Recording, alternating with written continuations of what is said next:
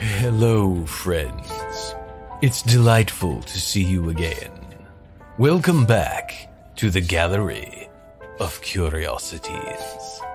I'm once again your humble host and caretaker, Leopold. The gallery needed some cleaning recently, and although I love a good dusting, I thought it best to hire someone to help tidy up a bit. So I made a Faustian bargain. I traded away my soul for a good, thorough house cleaning. After all, I wasn't using it. The thing is, now the devil is mad at me. He came back and said, The soul you sold me is twisted, bent, soiled, and broken. I just pointed to the no returns sign. A good deal is hard to find, especially when you're bartering with otherworldly entities as with tonight's exhibit, Within My Reach. Born to immigrants in British Columbia, the author, Ola Al-Fateh, has strongly connected to the merging of different worlds from the moment she arrived into this one. All her stories reflect this to some degree. Her other short story, The Grand Museum, has appeared in The Future Fire. Presenting Within My Reach by Ola Al Fateh. All monsters are elusive, some more so than others. None of them, however, are secretive about their existence. People know about them because of the flyers glued to the walls of train stations, town squares, hookah taverns.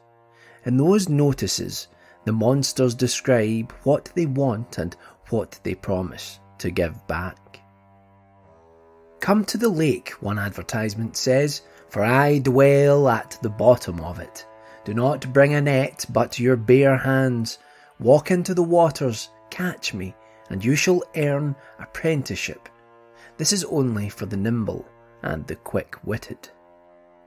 Go to the tallest gas lamp in 34th Street, another advertisement says, for inside the lamp is where I live. I will make you a respected worker only if you climb to the top of the post without a ladder and blow out the candle inside.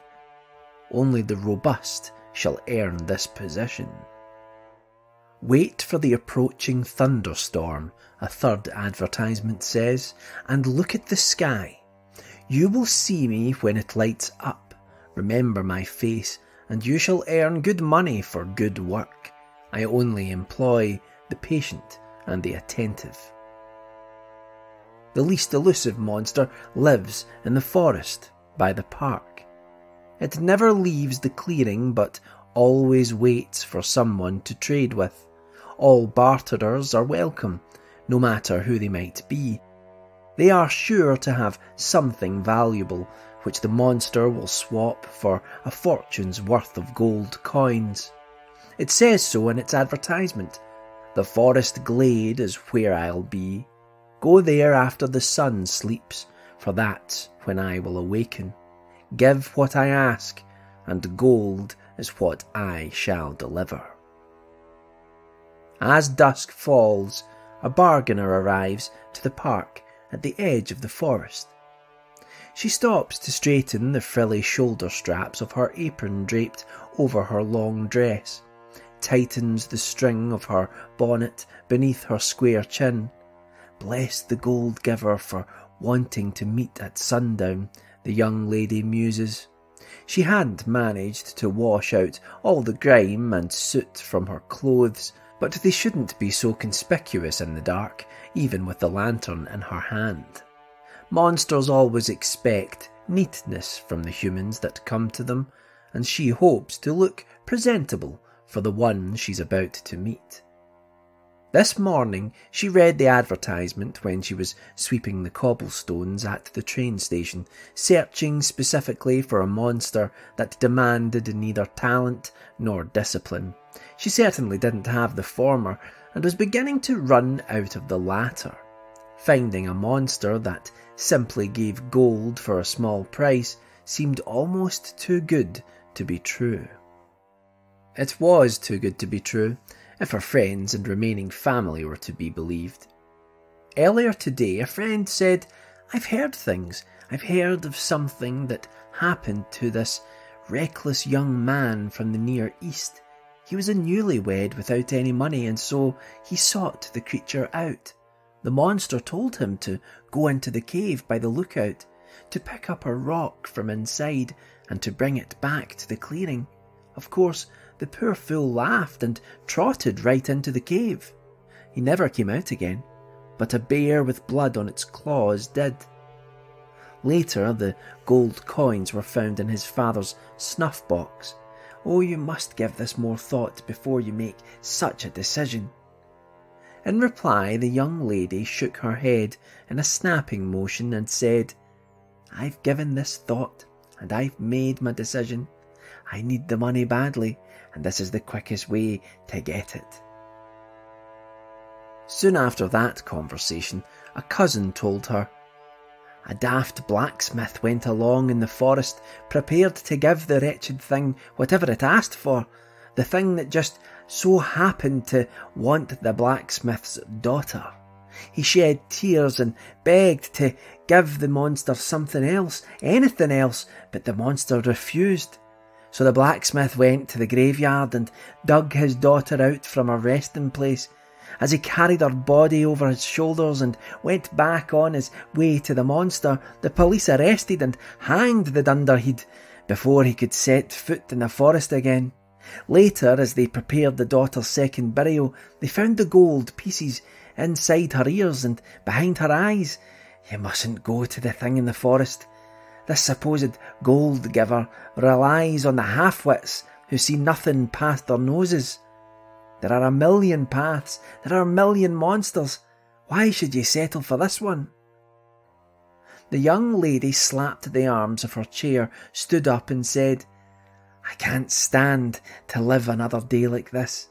I've spent too many years out in the searing heat and in the bitter cold cleaning this town's filth all for a meagre sum to buy myself a few scraps of food, a single dress, and this poky flat.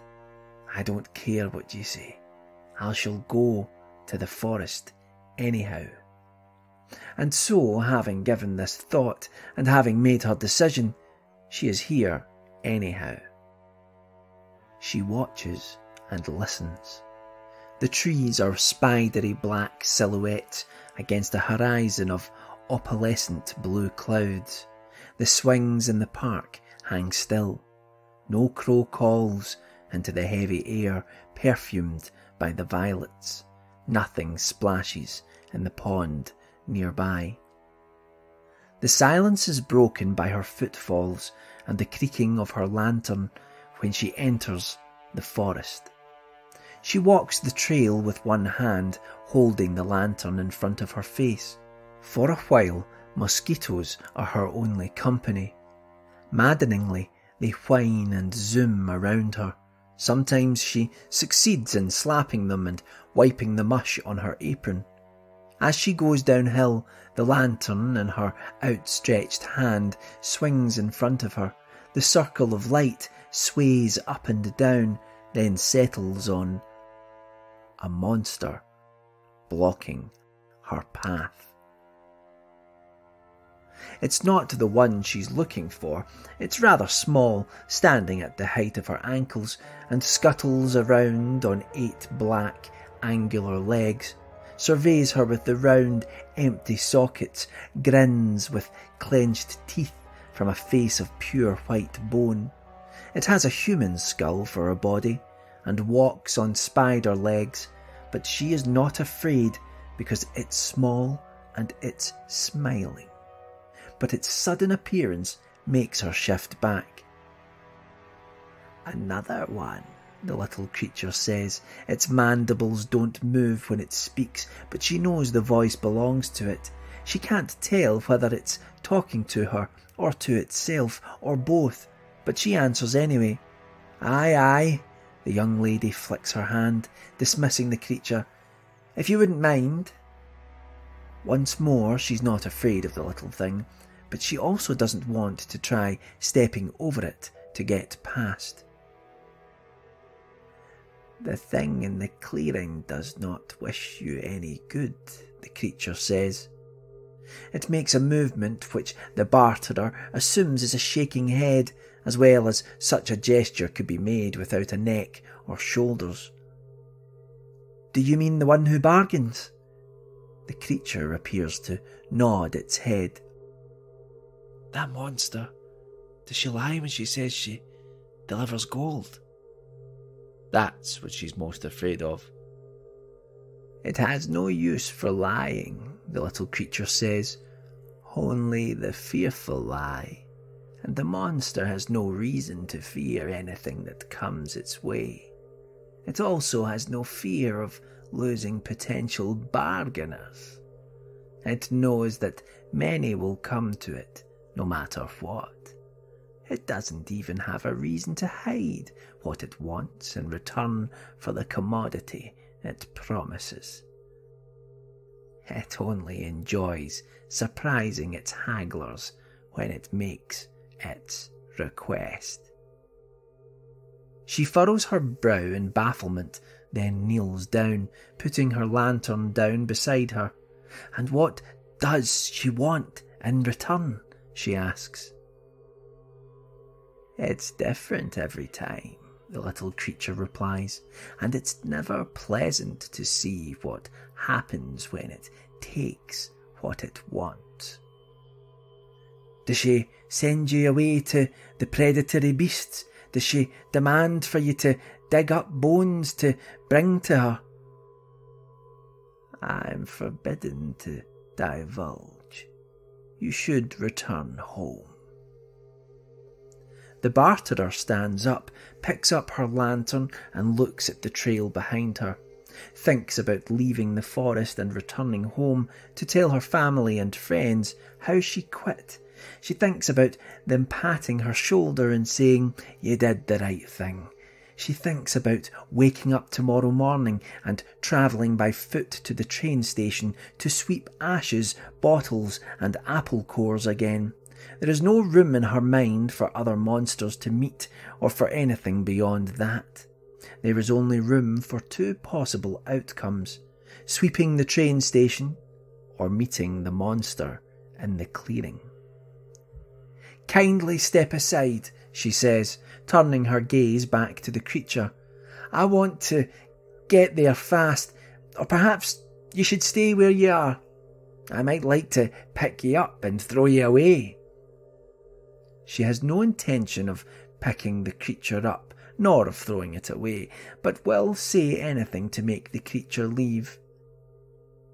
Under oath, says the Chimera, I cannot end your journey. It scurries away into a pile of leaves. She goes along her way, more excited than afraid to meet this monster, since it sounds so interesting from what everyone has said about it, until another monster stops her. It is actually an abundance of monsters fused into one, their base a trunk with roots burrowing into the dirt. They hold her by the ankle with a tree root from the ground towering wooden creatures that regard everything with their tubular, iridescent eyes from narrow faces with the drooping maws, barren twigs topping their heads. They make expressions of anguish, but they speak in a collective, melodic voice, not unlike a symphony of glass harps. We urge you not to continue, the creatures say. She doesn't answer, but only tugs against their grip. When that doesn't work, she lowers her lamp next to their base and opens the little mantle. The light intensifies, as does the heat. I urge you to let me go, she says. She starts to tip the lamp over. She doesn't actually intend to burn the monsters, but hopes she'll scare them into releasing her. We shall in a moment, they say, when you show that you understand what we say. This is not the path you should take. I shall leave this place only if it turns out that there is no monster there, the young lady says, and I know she's there. She points to the path she came from. Your wee friend told me so. This is not what we mean, the creatures say. We know the monster promises wealth on the condition of payment. No one has failed to pay the price, and it has never failed to deliver its promise, but you may still never get it. How do you mean? she demands. This time their collective voice matches the sorrowful expressions on their faces. That we cannot tell you, and we also cannot stop you, interrupt you, but not stop you, advise you, but not stop you. Return to your world now. If you go further, you may never leave here. And why wouldn't I? That we cannot tell you. The root around her ankle uncoils and wriggles back into the ground. She picks up her lamp and takes the stepping stones across the stream, where she slips with a gasp and drops her lamp. It crashes and disappears into the rushing water.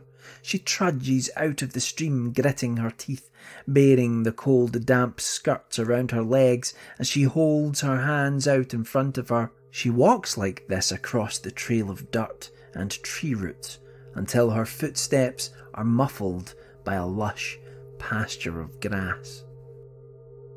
She sees the monster resting in the clearing. It lies on its stomach with its jagged pincers twitching in front of its multitude of blank, bulbous eyes.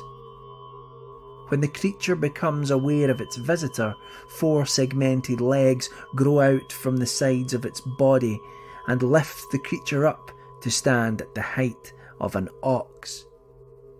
The young lady pays little attention to its size and prehensile pincers, but cannot stop herself from gawking at the shapes squirming all over the creature's flat back. The monster does not come to her, but waits for her, and so she takes a breath and marches to it, trying to ignore the moving shapes on the creature's back. When she stops ten feet from it, the monster says, My children want eyes. Despite herself, she looks back to the squirming eyes. She bites her lower lip to keep herself from screaming at the shifting mass of vaguely human faces on the creature's back. She is somewhat grateful for dropping her lantern along the way, as there is no light to help her see them fully. She can still see that some of them have eyes, eyes without light and without a sign of blinking, not quite fitting into their sockets. The ones without eyes are more restless. She knows then that the monster is not speaking in riddles. They want both of them? She stammers. Both of them. Her eyes itch as she imagines losing them. To reassure herself and to remind the monster that she has control of her situation, she looks directly at the creature's black eyes and states, If I give you what you want, you shall give me what I want, tit for tat, butter for fat. If you kill me, dog, I shall kill your cat.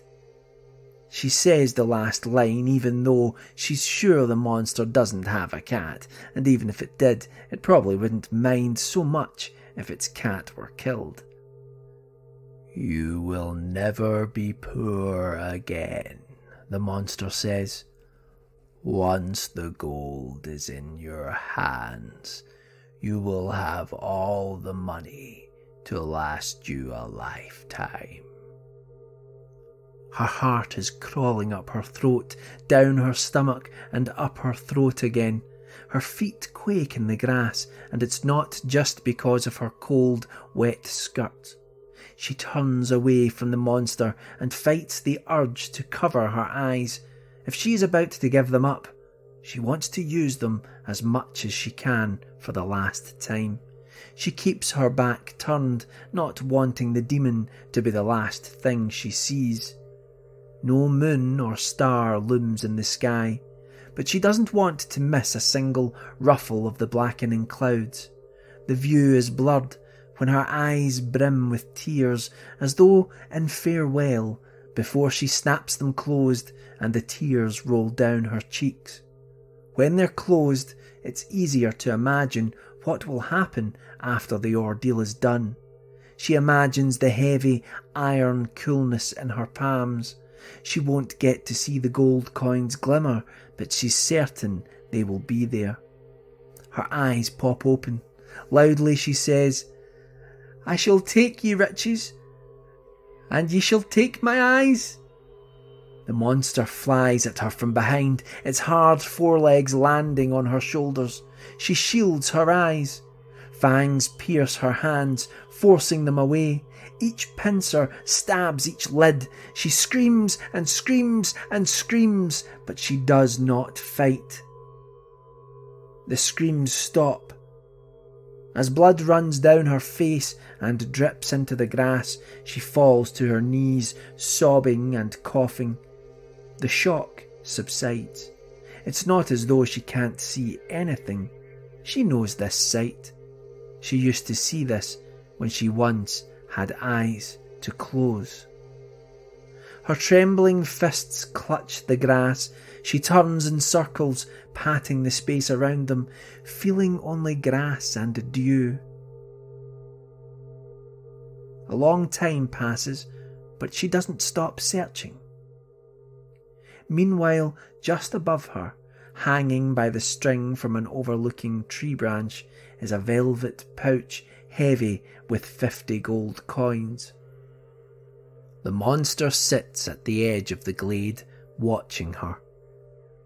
She will never even think to reach it, it says to itself. She will go on grovelling for it on the ground, forever thinking that a few more thousand rounds will help her find it. Convinced that the gold giver has buried the coins beneath the ground, the young lady stabs her fingers into the grass and rips at the earth, digging and digging and digging. Then she eases herself to her feet. For a moment, she simply stands with her hands at her sides, her bonnet hanging loosely from the back of her head. Even in sleep, she has never been this motionless. She tries to decide where to go, after a lifetime of brash, rigid decisions, she lingers in the glade and realizes she can't decide. Without any idea of where it will take her, she lifts one foot in front of the other and goes forward. With her mind as murky as her vision, her tentative steps become scampers. She runs with her hands stretched out in front of her face, a pale oval shape sullied with blood and marred by twin holes at the top, a maw gaping near the bottom. Her hands snatch at the air and will not stop until they have found something. Soon they do. She closes her fingers around an object. Though panicked and desperate, she's clear minded enough to realise it's not the gold coins. Gold coins are not bulbous nor fragile.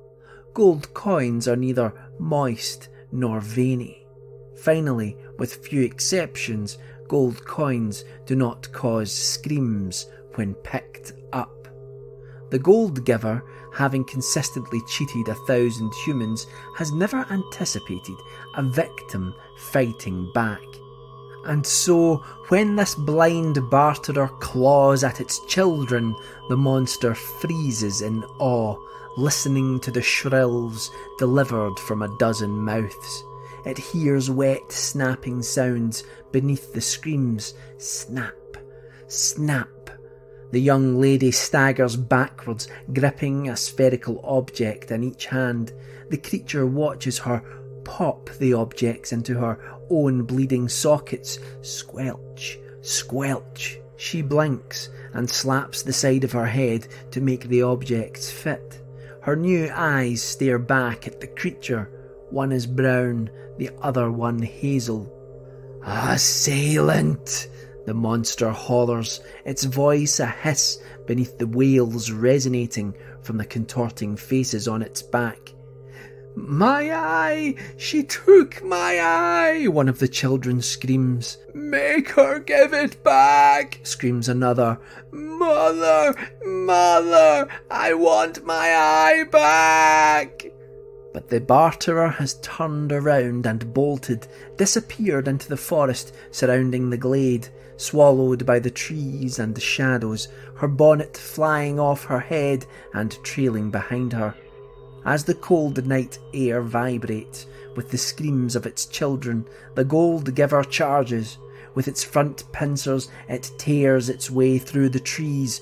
Up ahead, it sees the barterer running with her skirts hitched up, the thorns from the passing bushes cutting her calves.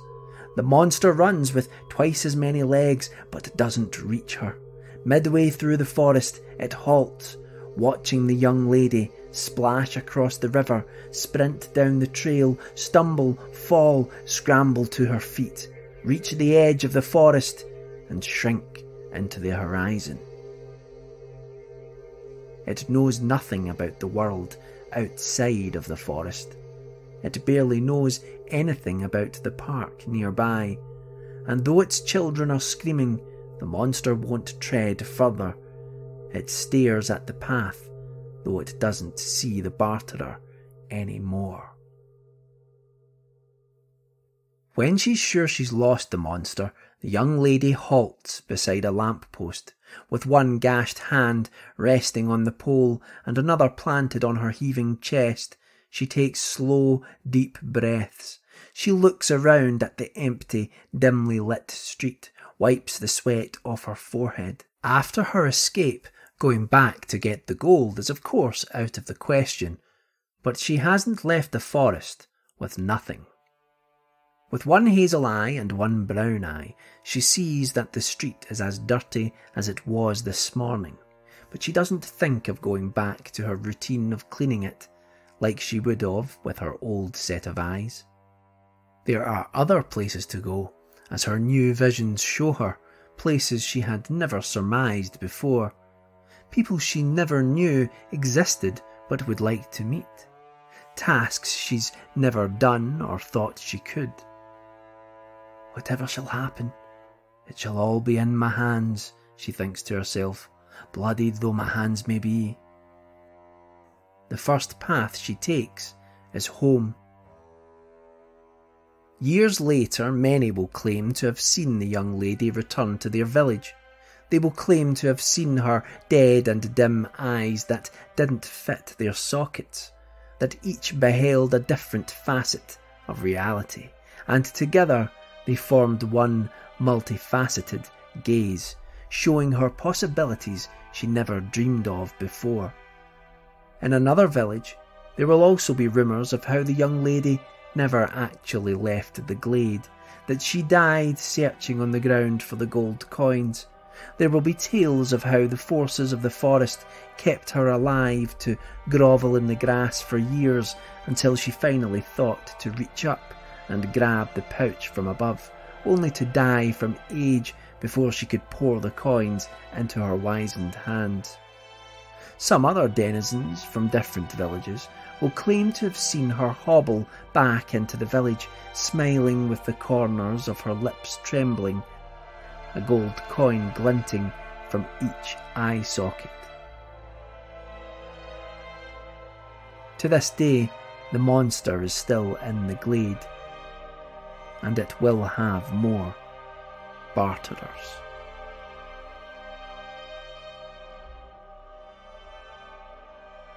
Bartering for what one truly wants is often difficult. A vampire friend of mine wanted to enter a special exhibit we had set up in the gallery a hall of mirrors.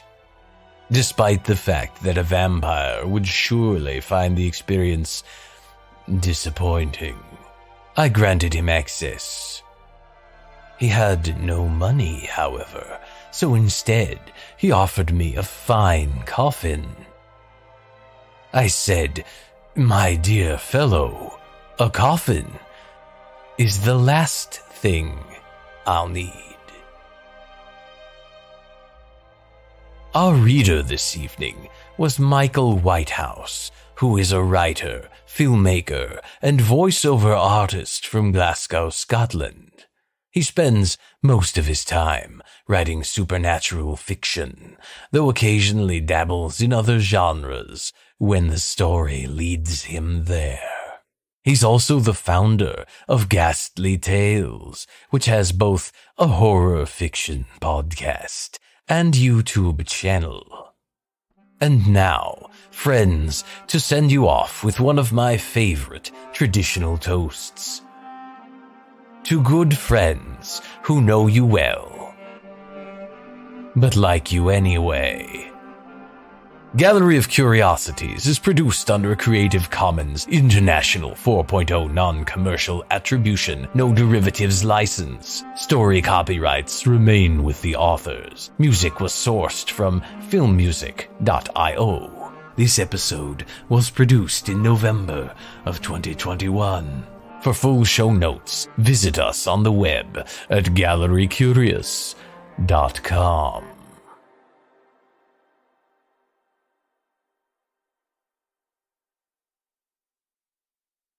My uncle sold tombstones, but he was always running short of raw materials. Sometimes he would barter. A lot of the times, he would take things for granted.